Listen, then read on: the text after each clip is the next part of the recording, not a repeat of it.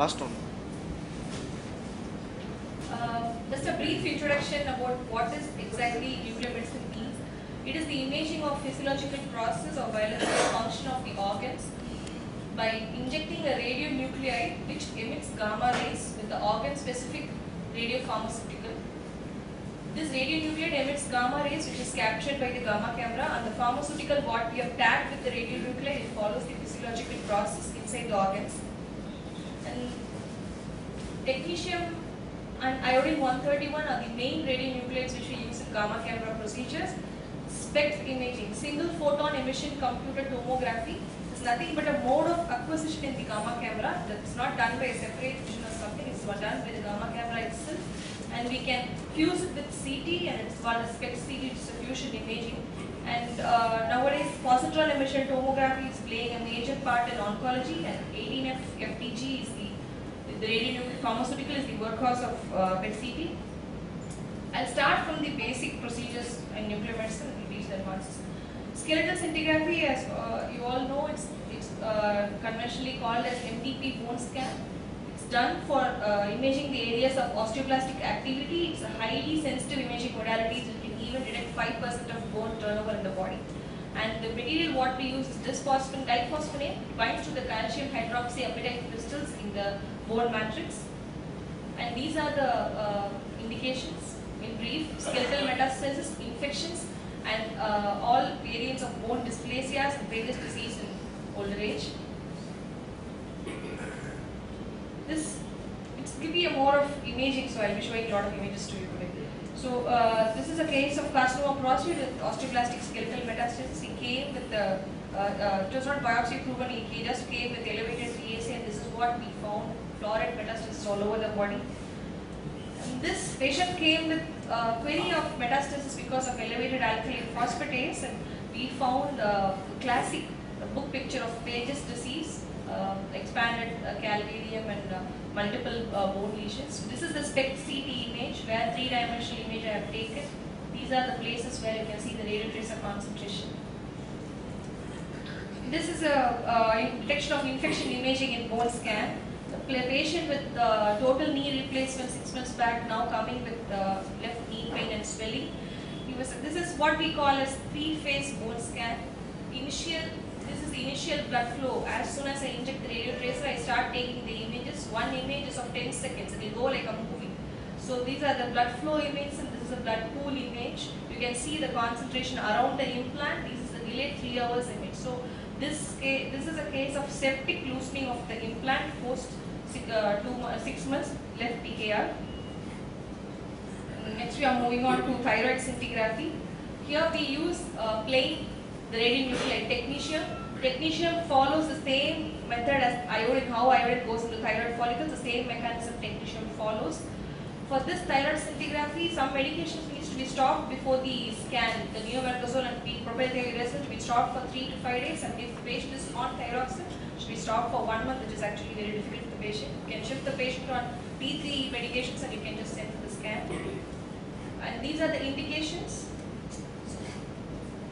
Um, maybe patient comes with reduced TSH. Is it Graves or is it thyroiditis? With clinical examination, of course, many people can find it out, but to establish the classic evidence-based uh, uh, thing before starting a therapy, because thyroiditis, the treatment differs, beta blockers and follow-up with thyroid profile. The Graves is the treatment is neomercazole and follow-up. So to differentiate the cause of thyrotoxicosis, uh, this is indicated and to indicate the functional status of thyroid nodules. A patient is coming with the TSH, reduced TSH, and the patient is having a thyroid nodule. Whether it is the toxic nodule which is causing decreased TSH or the patient is having Graves with a malignant nodule. So this will tell you. And in children with congenital hypothyroidism, to uh, uh, establish the cause of congenital hypothyroidism, it's a agenesis or it's a dysgenesis or an ectopic thyroid, this is very useful.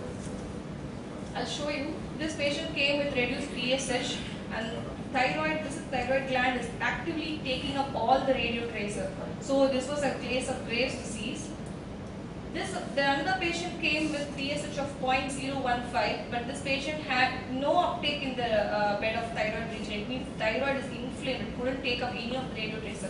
So both had same clinical history, but the scan was different.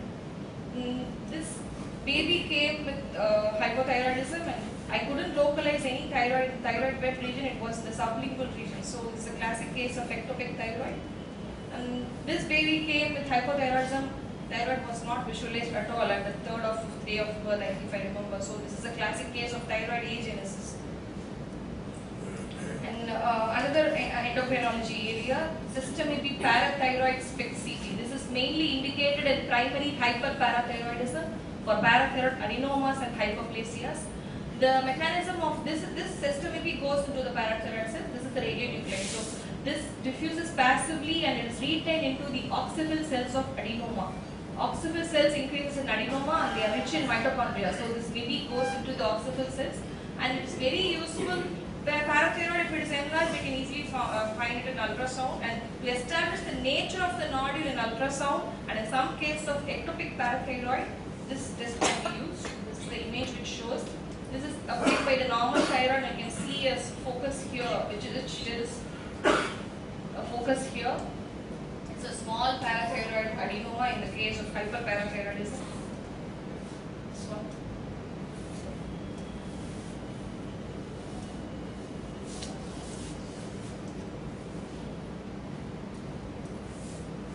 Next topic is uh, DMSA scan as all, all we call. This is renal cortical scintigraphy and this is mainly done in uh, children in case of uh, reflux nephropathy to categorize these scars and in initial uh, stages of acute pyelonephritis.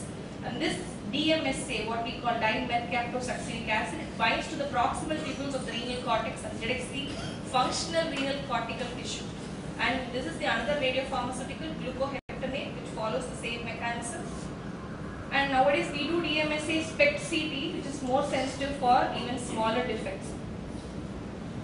And the indications are in infants and in younger children the pyelonephritis may take a different course. Some children present with classic symptoms, sometimes the symptoms are very atypical in early stages, ultrasound could not pick up anything, patient is having severe fever, uh, urinary symptoms. In such cases, it's classically indicated detection of renal cortical scars, functional status of the renal parenchyma and any ectopic kidneys, the function of the ectopic kidneys. This is a normal DMSA scan, both the kidneys are seen this child. This child had febrile UTI, but the kidneys are not involved. The course of antibiotics differs in such cases. This one-year-old female child with culture positive febrile UTI, you can see the, reduction of uptake in both the poles. This is indicative of pyelonephritis. This was the ultrasound was normal. The child had culture positive febrile, prolonged duration of fever. So uh, we picked up pyelonephritis and they prolonged the duration of antibiotics. It became normal. But once the child presents such a picture, it's always advisable to do DMSA scan after three to six months. But because they may go for renal scarring also. This uh, boy came with uh, bilateral VUR grade 3 to 4. You could appreciate the scars here. The kidney is not normal. There is a defect here in the upper and lower bones. So the function was also slightly impaired on this side. Just to follow up of case of VUR, this is very beneficial. Next area is DRCG, what I call is radionuclide MCU. This is just like a normal MCU to detect the urinary reflux in children. One main advantage is the radiation dose is 50 to 200 times lesser than the radiology X-ray MCU, what you call X-ray MCU. And any day initial evaluation of reflux X-ray MCU comes first to image the anatomy also. But to follow the cases of UTI for reflux or any familial history, siblings to follow siblings for reflux, this plays an important role. It's a rapid dynamic imaging with increased sensitivity. All nuclear medicine imaging procedures, just like a movie, every 15 seconds we'll take one picture. At the end of it, we'll take an image. So you can just run it like a movie, like a cine video, and you can see. So the sensitivity of the imaging modality increases. This uh, baby we catheterized, we filled up the bladder with radionuclide. In the third frame, you can see it's, it's going into the ureter up. So we detected the grade uh, 4 reflux in this child. This is what we call a cobra sign. So just going up. And the next uh, part in nephrourology is renal dynamic scan, what we uh, call it as a DTPA scan. So uh, there are three radionuclides which are used, radiopharmaceuticals. One is DTPA, one is MAG3, one is LLEC. Differences are DTPA is exclusively cleared by GFR method, glomerular filtration. These radiopharmaceuticals are cleared by tubular secretions. So these LLEC, MAG3, they play an important role in cases of equivocal PUJ obstruction. IVT says PUJ obstruction, ultrasound says PUJ obstruction. Is the obstruction is really present or not? So these radiopharmaceuticals are highly helpful in neonates and infants where the GFR is not fully developed with or without diuretics as per the indication and the patient should be well hydrated uh, before the scan. The information obtained are the blood flow, the differential functional status of the kidneys, clearance phase to evaluate the patency of the collecting system. Normally, the each kidney will uh, uh, take up around 45 to 55 percent of the function. This is this patient uh, underwent uh, nine-year-old uh, uh, patient underwent pyeloplasty on the left side. Right side is normal, a little bit enlarged and it's concentrating the radio tracer. But in delayed, this is the three-hour delayed image we usually take. In delayed phase, this clears up. A pyeloplasty pattern this child has got. And uh, this is a case, this is the LLEC scan. Left side kidney is normal, right side the kidney is enlarged, grossly enlarged, hydronephrotic and even at three years of image, it keeps on accumulating, it's not clearing. So it's a case of classic right-sided PUJO. Uh, next area would be uh, neurology. Refractory epilepsy. Uh, this uh, imaging plays a very important role. Intractable or medically refractory seizures who require surgery, where the structural imaging could not explain the full extent of the uh, epileptic focus. The best information is obtained by correlation of functional and anatomical imaging. These are the radio tracers what we use. Uh, sorry. ECD and HMPAO. These radio tracers always start with technetium. This is the radio nuclear just got uh, imaged by the gamma camera. This will go into the brain cells through passive diffusion and it's retained by the cells. So whichever area is hyperperfused or hypoperfused, you can easily image those areas. And ictal spect, this is done, it is not possible, it is always possible in a tertiary care setup. Ictal spect, you withdraw the uh, anti-epileptic medication, keep the patient under video EEG monitoring. When the patient gets the seizure, within 10 seconds we inject the radio tracer. Interictal spect, after the patient is discharged, you can do anti-epileptic, uh, under anti-epileptic medication, the same procedure. I'll come to this slide afterwards. In ictal spect, the epileptogenic focus is hyperperfused. It will be just firing out. And in interictal spect, it is hypoperfused. So after subtracting these two, you can easily get the seizure focus in the patient. This is called as syscos, where ictal spect is subtracted and co-registered with interictal. SISCOM, what we call, we subtract and fuse it with MR for a better surgical planning. The indications of this would be focal epilepsy. Patient will come with normal MRI but throwing a focal epilepsy. Uh, bilateral lesions on MR, which lesion is causing exactly the seizure. And there, or there is a discordant results between MR and EEG. These are the patients who are referred to us for the scan. I'll show you the image. This we have taken while the patient is showing, showing, uh, throwing seizures. And this is without uh, seizures. So uh, when we processed, we got the focus here on the left, uh, left parietal. So if this is going concordant with the EEG and MR or any of these two modalities, the patient is ideal candidate for surgery. This is uh, another interesting area, uh, Trodat SPECT MRI, what we do. Uh, this is a dopaminergic functional imaging. This imaging uh, images the presynaptic dopaminergic receptors in the striatonigral pathway, which is the earliest to be affected in the Parkinson's and Parkinson's associated syndromes.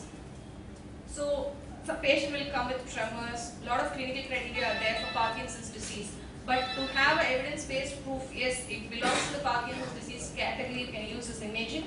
To rule out Parkinson's disease from essential tremors, drug-induced Parkinson's, patient with a lot of antipsychotic, anti-psychiatric medication, they come with all extrapyramidal symptoms. Whether it is really drug-induced or because of actual dopaminergic dysfunction, you can easily find out vascular uh, psychogenic Parkinsonism. Uh, the, this is basically the basal ganglia will pick up this radio tracer and decreased basal ganglia uptake is both present in Parkinson's as well as Parkinson's plus all this multi-system atrophy, progressive supranuclear palsies and uh, uh, corticobasal degeneration will come under Parkinson's plus syndromes. For such cases, you have to do FDG PET and product which will give you the complete information.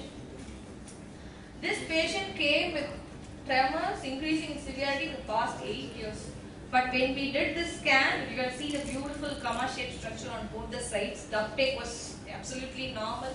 So he was not having any defi- deficit in his dopaminergic function. He was on for 8 so he was not having any deficit.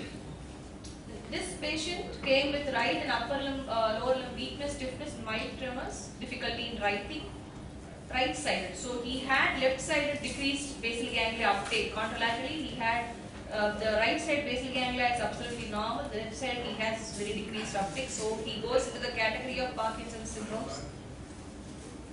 Next uh, is the gastroenterology, where the HIDA scan, what we call uh, generally HIDA. Uh, this is done with the help of iminodiacetic acid analogs. Nowadays, it is done with mebrofen, what we call as Brida. It has greater hepatic uptake, and it is uh, easily it can be displaced by the it cannot be displaced by the bilirubin. What is this HIDA scan used for? It is basically used to image the hepatocyte function, biliary blood, uh, hepatocyte blood flow, and how the tracer is going into the gut or not. And in cases of cholecystitis, and in children, to differentiate the biliary atresia from hepatitis, and uh, gallbladder biliary dyskinesias, cholecystitis, bile obstruction post surgeries, and choledochal cyst.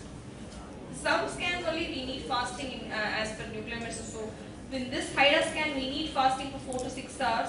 And in cases of neonatal cholestasis, uh, the babies need to be primed with phenobarbital and betamethasone for at least from 3 to 5 days. This baby came with neonatal cholestasis, so they were confused whether it is a uh, hepatitis or it is a, surgical candidate or a, medicine candidate, uh, hepatitis or cholestasis. We were uh, imaging this baby and even after 24 hours of imaging, the tracer didn't come into the gut. The function of the liver was very well preserved. So this uh, makes the baby a candidate for surgery in case of extrahepatic biliary atresia. And uh, this patient came with abdomen, postprandial upper abdominal pain. All the investigations are normal. Ultrasound, no, sorry. Ultrasound normal, uh, MRCP normal, but he was continuously having pain. So the functional capacity of the gallbladder is, can be detected only with the help of this HIDA scan. We do the imaging in fasting. Once the gallbladder is filled up to its maximum, we give a fatty meal to the patient and we take the further images. These are the this is the maximum filled up gallbladder fatty meal is given. It's slowly it is emptying, and this software calculates the gallbladder ejection fraction. Even at 16 minutes, it was 7%. Normally, at 16 minutes, it should be 38% GB ejection fraction, but it was only 7%. He's branded as a candidate of gallbladder dyskinesia, and further treatment were taken for this patient. And next uh, interesting topic is gastrointestinal bleed scintigraphy. GI bleed, patient is presenting with melena, CT angio normal, HP is uh, dropping down. So these can be used uh, in labeled RBCs and sulfur colloid. The advantage is it can it is very sensitive. It can rapidly detect even this much of bleed 0.1 ml per minute. It guides which artery to be embolized in the angiography. And uh, one uh, requirement is the imaging should be less than 24 hours of the last bleeding episode. This patient came with uh, melena of 4, uh, 4 gram HB, 4 gram history of melena. You can see slightly the bleeding is happening here. They couldn't pick it up in CT angio and all. And this is the jejunal loops were bleeding in this patient. So they went ahead with the angio and embolized the artery, segmental artery. Next is in pediatrics. When the Meckel's diverticulum contains ectopic gastric mucosa, it bleeds and causes one of the cause of GI bleed in pediatrics. So technetium scintigraphy is very effective for detecting the gastric mucosa, functional gastric mucosa. This baby came with GI bleed, classic history of stoppage of bleed after proton pump inhibitors. So uh, we did the scan we could find the focal area here keeps on increasing. We did SPECT CT. We could find a cystic structure concentrating the radio tracer, which is found out to be the Meckel's diverticulum, cystic Meckel diverticulum in this case. Next is G reflux study in babies who present with atypical respiratory symptoms, cough, vomiting because of G reflux. Uh, barium swallow and pH monitoring, which is technically demanding in such cases. We can use this G reflux study Sulfur colloid is a radiopharmaceutical which is used and this is this is the study. Initially you can see the stomach, the activity is given along with the milk and rapidly it is going up. The reflux you can see in further images. And just to uh, cover it up, uh, lymphoscintigraphy which is to rule out partial or complete lymphatic obstruction. Uh, this is a case of uh, partial lymphatic obstruction injected into the feet and it's going up. Still there is some accumulation in the subcutaneous tissues. Uh, another uh, area is the iodine 131 whole body scan. Post thyroidectomy, thyroid cancer patients follow up. You could see the remnant thyroid tissue here in the iodine scan, and you can see the metastatic thyroid cancer. Radioiodine ablation plays one of the important role in thyroid cancer, and this scan to be done before the ablation, just to do stage of staging of the patients. And MIBG scintigraphy, which is the norepinephrine analog uh, stored in the adrenergic nerves. It is used for uh, staging and imaging of all these pheochromocytoma, neuroblastoma, and paragangliomas. For staging and to assess the effectiveness of the MIBG therapy, this plays an important role. And uh, myocardial perfusion imaging, uh, I would like to take five more minutes just to, uh, these topics would be really interesting, so just five more minutes from you. Myocardial perfusion imaging and uh, what we, uh, we attribute the functional significance to the stenosis in the coronary angiogram. If three vessels are showing 60 to 70 percent blockage, which vessel is causing the symptoms is actually told, uh, uh, told by this, these image, uh, imaging modalities. We use sestamibi and thallium. This patient came with chest pain and dyspnea. He had severe ischemia in the inferior wall. These are the uh, images taken after TMT. This is in the rest, so you could see the difference in the inferior wall. He is, he is a case of TVD, and his uh, RCA was the one which is causing symptoms. And the another most interesting topic nowadays is the PET CT, which is anatometabolic imaging. We use 18F F18 uh, nowadays, which is, which is called as a workhorse of PET CT. And this goes into the cells through the GLUT transporters, but it is trapped as 18F FDG6 phosphate. It cannot come out of the tumor cells where the glycolysis is high. It is used in staging, restaging, response assessment, reduction of recurrence, follow, surveillance, prognostication of the tumors, and in, nowadays in PU also it has got a very big role. This is a case of left tonsil lymphoma. It is used for staging. It is only present in the tonsil and none other than the tonsil. And this is the case uh, CA cricopharynx, hypopharynx, where you can see the response. It is completely vanished after the chemotherapy. And nowadays, PET MRI is coming up because of its superior soft tissue contrast and molecular uh, imaging. This is the PET MRI image and it is very useful in head and neck cancers and neuro-oncology for the T staging. This is the PET MRI image. The left, you can see easily, beautifully visualize the left thalamus lesion, which is a primary uh, brain tumor. Glioma was there in this patient. And in oropharyngeal cancers, it plays an amazing role for T staging and N staging. This is the left tonsillar uh, lesion with cervical lymph nodes. Liver and portal lesions. Liver lesions, HCC normally they don't pick up FDG. So uh, this MRI with uh, PET, they give you a lot of information. You can easily visualize the portal vein thrombosis here, which was a bit uh, uh, difficult in CT alone. And this pa- patient, CA endometrium post hysterectomy, presented with this subtle vaginal wall thickening in PET CT. You could see the recurrence. If used with MR, it, it shows the lesion very well. And this is somatostatin receptor DOTANOC PET CT. It's imaging of the somatostatin receptors 2, 3 and 5 in neuroendocrine tumors. It is as specific as the histopathology Ki67 index in neuroendocrine tumors. Same patient, this is the FDG and this is the uh, gallium. You can you could see the this is the gallium in DOTANOC image picking up lot of liver lesions. FDG not picking up the lesions. This is a case of insulinoma with a pancreatic uh, lesion and lot of liver metastasis. This is the DOTANOC, gallium DOTANOC PET CT. And next is called as gallium PSMA PET MRI. This is very specific of prostate specific imaging radiotracer and prostate specific malignancies. You can see the this case post TURP for negative of malignancy. PSA was 40, but he was started up with a lot of PSMA specific lymph nodes. PSMA is prostate specific membrane antigen, so it's very specific of prostate malignancies. And uh, just just to brush up with bone pain palliation, it's possible in nuclear medicine with uh, these uh, bone pain palliating uh, agents. Samarium 153 EDTMP in osteoblastic skeletal metastasis. It gives very effective palliation and prolongs the survival also. This is post therapy, post samarium therapy in a prostate CA patient. And uh, as I told before, radioiodine remnant ablation with iodine 131 is also possible in nuclear medicine.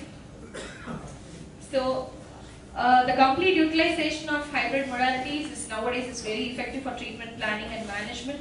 And this is an era of molecular and hybrid imaging, so let us all create evidence-based medicine with all these modalities. Thank you.